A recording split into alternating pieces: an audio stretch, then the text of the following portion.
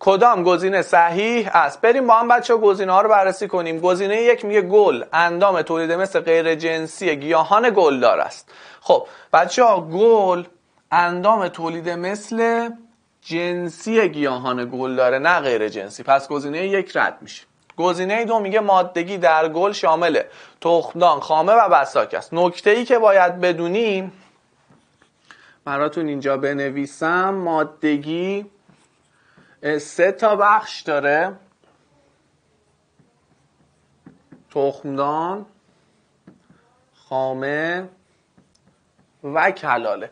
بچه ها بساک یکی از اجزای پرچمه. پس گزینه دو هم رد میشه. گزینه سه میگه بند ناف مواد مغذی و اکسیژن را از بدن از مادر به جنین میرساند. کاملا صحیحه و مواد دفعی جنین را مستقیما به خارج بدن مادر منتقل می‌کنه. بچه ها به خارج بدن منتقل نمی‌کنه.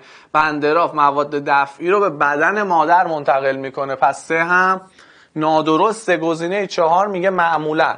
شکل نوزادان جانورانی که نر و ماده آنها با هم فرق می‌کند یکسان است. کاملا درست جواب این سوال گزینه چهار.